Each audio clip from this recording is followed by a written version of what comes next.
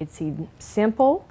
Um, I'm a mother, st- stay at home, and needed a little extra cash. This woman asked us not to show her face because she's embarrassed about getting involved in a scam. I applied for a job online, a bookkeeping job. I was emailed back by a company asking me if I would be interested in the job. She would be paid $800 every two weeks, so she quickly accepted. I would mail out payroll checks.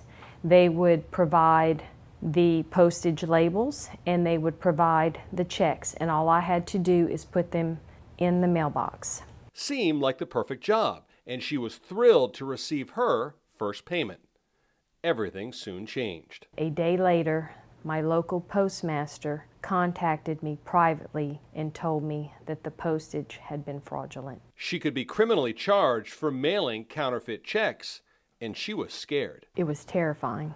I'm a mother of three children, I'm married, and I was just trying to make a little extra money in my home. She was then sending fraudulent checks to other individuals, not knowing they were fraudulent checks, but then those individuals pop- possibly were cashing those checks. This victim admits she'll take more time to research any potential opportunity she finds in the future. I feel a little um, embarrassed that I fell for it, but at the time it seemed something very easy for me to do and make a little extra money and be home.